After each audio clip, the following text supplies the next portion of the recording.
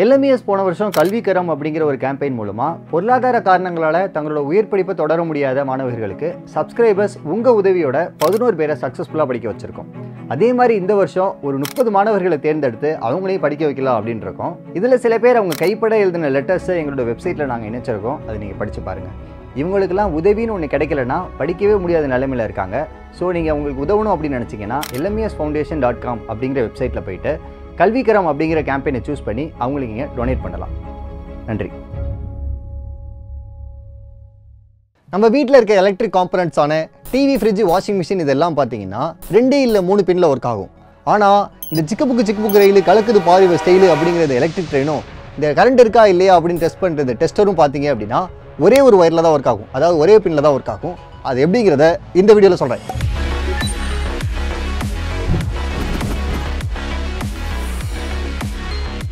இந்த electric train எப்படி ஒரு ஒயரில் ஒர்க் ஆகுது? இந்த டெஸ்டர் எப்படி ஒரு பின்னில் ஒர்க் ஆகுது? அப்படின்னு பார்க்குறதுக்கு முன்னாடி நம்ம வீட்டில் இருக்க எலக்ட்ரிக் காம்பனன்ட்ஸ்லாம் எப்படி ரெண்டு பின்னை யூஸ் பண்ணி கரண்ட்டால் ஒர்க் ஆகுது அப்படிங்கிறத பார்க்கலாம். அதுக்கு எக்ஸாம்பிளாக நம்ம வந்து ஒரு டிவி எடுத்துக்கலாம். அந்த டிவியில் பார்த்தீங்கன்னா ரெண்டு பின் இருக்கும். அந்த பின்னை கொண்டு போயிட்டு நம்ம ஒரு பிளக் பாயிண்டில் சொருவோம். அந்த பிளக் பாயிண்டில் பார்த்தீங்கன்னா ரெண்டு ஹோல் இருக்கும் கரெக்டாக அதில் ரைட் சைடு இருக்க பின் பார்த்தீங்கன்னா ஃபேஸ் லைன் அப்படின்னு சொல்லுவோம். லெஃப்ட் சைடு இருக்கிறது வந்து நியூட்ரல் லைன் எப்போவுமே நம்ம ஒரு வீட்டுக்கு உள்ளே வந்தோம் அப்படின்னா வெளியில் போகிறதுக்கு ஒரு வழி இருக்கும். அதே மாதிரி இந்த கரண்ட் உள்ளே வர்ற பாதை தான் இந்த ஃபேஸ் லைன் அப்படிங்கிறது. வெளியில் போகிற பாதை வந்து நியூட்ரல் லைன் இப்போ நம்ம இந்த டிவியோட பின்ன அந்த ப்ளக் பாயிண்ட்டை சொருகும் போது என்ன நடக்கும்னா ஃபேஸ் லைன் வழியாக கரண்ட் உள்ளே வந்து டிவியை ஓட வச்சுட்டு மறுபடியும் நியூட்ரல் லைன் வழியாக வெளில போயிடும் இப்படி கரண்ட் ஃப்ளோ நடந்தால் தான் பார்த்தீங்கன்னா இந்த டிவி வந்து ஒர்க் ஆகும்.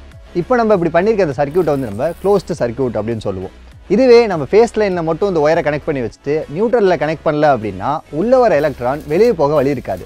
இதை வந்து நம்ம ஓப்பன் சர்க்யூட் அப்படின்னு சொல்லுவோம். இப்படி இருந்தால் இந்த டிவின்னு இல்லை. எந்த எலக்ட்ரிக் காம்பனண்ட்டாக இருந்தாலும் ஒர்க் ஆகாது. ஆனால் இந்த டெஸ்டர் இருக்குல்ல.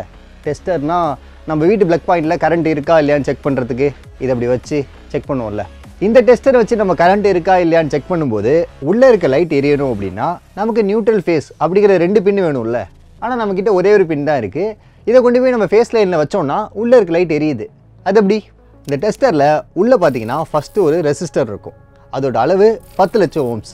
அதுக்கப்புறம் ஒரு நியான் பல்பு இருக்கும். அதை தாண்டி அதுலேருந்து ஒரு ஸ்ப்ரிங்கு கனெக்ட் ஆகி ஸ்ட்ரைட்டாக பார்த்தீங்கன்னா பின்னாடி இருக்க இந்த மெட்டல் ஹெட் அதாவது அந்த கேப் மாதிரி ஒன்று இருக்குல்ல இங்கே வந்து கனெக்ட் ஆகிருக்கும் இப்போ நம்ம இந்த டெஸ்டர் எடுத்து ஃபேஸ் லைனில் சொருகும் போது என்ன ஆகும்னா ஃபேஸ் லைன்லேருந்து இரநூத்தி முப்பது வோல்ட் எலக்ட்ரிசிட்டி வந்து உள்ளே போகும். உள்ளே போகிற இந்த எலக்ட்ரிசிட்டி அங்கே ஃபஸ்ட்டு இருக்க அந்த ரெசிஸ்டர்கிட்ட போகும். அந்த ரெசிஸ்டரோட அளவு எவ்வளோ? பத்து லட்சம் ஓம்ஸ். இப்போ இந்த ரெசிஸ்டர் என்ன பண்ணுவோம்னா உள்ளே வர இந்த டூ தேர்ட்டி வோல்ட்டை குறைச்சி டூ பாயிண்ட் ஃபைவ் வோல்ட்டாக மாற்றிடும் இதோட கரண்ட் வேல்யூ எவ்வளோ இருக்குன்னு பார்த்தீங்கன்னா zero point two three milliampere அளவுக்கு தான் இருக்கும். இப்போ உள்ளே இருக்க இந்த zero point two three milliampere வச்சு தான் அங்கே இருக்க இந்த நியான் பல்ப் அப்படிங்கிறது தெரியும் உள்ள கரண்ட் வந்துருச்சு. கரண்ட் வெளியில் போனால் தானே இந்த பல்ப் எரிய வைக்க முடியும் அப்படின்னு நீங்கள் நினைக்கிறது எனக்கு கேட்குது ஆமாம் கரெக்ட் இப்போ கரண்ட் உள்ளே வந்துருச்சு. இது வெளியில் போகணும். இப்போ நம்ம இந்த டெஸ்டரை கொண்டு போயிட்டு ஃபேஸ் லைனில் இருக்க அந்த பிளக்கில் வச்சோன்னு வச்சுக்கோங்களேன் அது எரியாது. அதுவே பின்னாடி இருக்க இந்த மெட்டல் ஹெட் மேலே நம்ம விரல வச்சோம்னா எரியும். விரலை எடுத்தோம்னா எரியாது. விரல வச்சோன்னா எரியும். இங்கே என்ன மேஜிக்காக நடக்குது? அப்படி கிடையாது. இப்போ இங்கே என்ன நடக்கும்னா ஃபேஸ் லைன்லேருந்து உள்ளே வர கரண்ட்டு வெளில போகிறதுக்கு வழி இல்லாமல் இருக்கும். அப்போ நம்ம இந்த மெட்டல் ஹெட் மேலே விரல வைக்கும்போது நம்ம எடுத்து கூட கனெக்ட் ஆகிருக்கிறதுனால நம்மளை வந்து நியூட்ரலாக கன்சிடர் பண்ணி இந்த கரண்ட்டு நம்ம மேலே ஃப்ளோ ஆகி கீழே போயிடும் இப்போ பார்த்தீங்கன்னா கரண்ட் உள்ளேயும் வந்துடுச்சு வெளியும் போயிடுச்சு இதனால உள்ளே இருக்க பல்பு எரிஞ்சிருச்சு. அப்புறம் இந்த டெஸ்டர்லேருந்து கரண்ட்டு நம்ம வழியாக பாஸ் ஆகும்போது நம்மளுக்கு ஷாக் அடிக்கணுமே அப்படின்னு நீங்கள் கேட்பீங்க நம்மளுக்கு ஷாக்லாம் அடிக்காது. ஏன்னா வெளியில் வர கரண்ட் பார்த்தீங்கன்னா ரொம்ப ரொம்ப கம்மி தான். Zero point two three milliampere தான். அது நம்ம உடம்புல பாஸ் ஆனிச்சுன்னா எதுவுமே நமக்கு ஃபீல் ஆகாது. இப்படி தான் பார்த்தீங்கன்னா இந்த டெஸ்டரு ஒரு பின்னில் ஒர்க் ஆகுது. இது ஒர்க் ஆகிற அதே பிரின்சிபிளில் தான் பார்த்தீங்கன்னா இது ஒர்க் ஆகிற அதே பிரின்சிபிளில் தான் பார்த்தீங்கன்னா இந்த எலக்ட்ரிக் ட்ரெயினும் ஒர்க் ஆகுது. எலக்ட்ரிக் ட்ரெயின்லாம் பார்த்தீங்கன்னா மேலே போகிற ஒரே ஒரு ஒயர் மட்டும் தான் டச் பண்ணிட்டே போகும். ஆனால் அதில் இருக்க மோட்டர்லாம் ஓடி எலக்ட்ரிக் ட்ரெயின் முன்னாடி போகும். அது எப்படிங்கிறத இப்போ சொல்கிறேன் ரயில்வே ட்ராக்ல நின்றுக்கிட்டு நிமிந்து பார்த்தீங்க அப்படின்னா சிங்கிளாக சோலோவர் லைன் ஒன்று போகும். அதான் ஃபேஸ் லைன் அந்த ஃபேஸ் லைனில் பார்த்தீங்கன்னா இருபத்தஞ்சாயிரம் வோல்ட் எலக்ட்ரிசிட்டி போகும். இந்த சோலோவாக போகிற லைனில் இருபத்தஞ்சாயிரம் எலக்ட்ரிசிட்டி போகுமா? எஸ் போகும். நம்பிக்கை இல்லைனா தொட்டு பாருங்க. அடுத்து இந்த எலக்ட்ரிக் ட்ரெயினோட இன்ஜினுக்கு மேலே பார்த்தீங்கன்னா பேண்டோகிராஃப் அப்படின்னு ஒன்று இருக்கும். அதுதான் பார்த்தீங்கன்னா கரெக்டாக அந்த எலக்ட்ரிக் லைன் இருக்குல்ல அதை போய் தொடும். இப்போ என்ன ஆகும்னா அந்த இருபத்தஞ்சாயிரம் வோல்ட்டும் அந்த பேண்டோகிராஃப் வழியாக ஸ்ட்ரெயிட்டாக அந்த எலக்ட்ரிக் இன்ஜினுக்கு வரும். உள்ளே பார்த்தீங்கன்னா ஒரு டிரான்ஸ்ஃபார்மர் இருக்கும். இப்போ இந்த டிரான்ஸ்ஃபார்மருக்கு அந்த வோல்டேஜ் வரும். இந்த டிரான்ஸ்ஃபார்மர்லேருந்து ரெக்டிஃபைருக்கு போகும். ரெக்டிஃபைர்லேருந்து டிசி மோட்டருக்கு போகும். கரண்ட் உள்ளே வந்துருச்சு.